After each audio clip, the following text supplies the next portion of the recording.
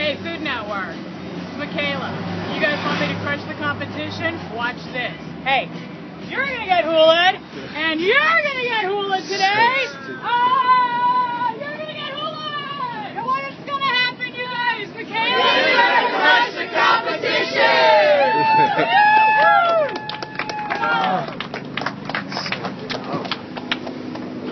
wanted it. You got it. This is gonna be a damn throwdown when I get through with you guys. Let's go. I'm coming for you.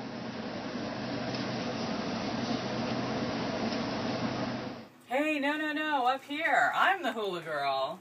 Hey, I'm Michaela Brennan. I'm 44 and I'm the owner of the Hula Girl Truck. So, what's my favorite junk food? Wow, that's hard to narrow down, but basically potato chips. My guilty pleasure are Funyuns, and I love Popeye's fried chicken.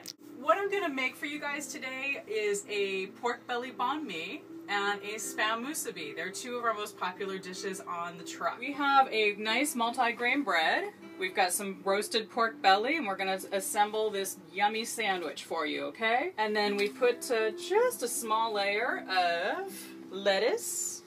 We use a pickled daikon and carrots that we pickle in-house.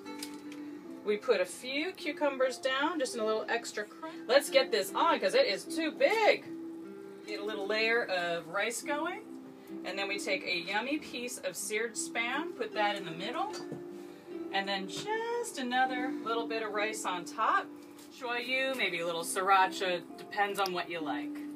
So, I think that I'm going to be perfect for your show because I can rewrap just about anything. And here's the thing the competitors need to watch out for. I am going to come for you and I'm going to rewrap all of you. Much mahalo. See you soon.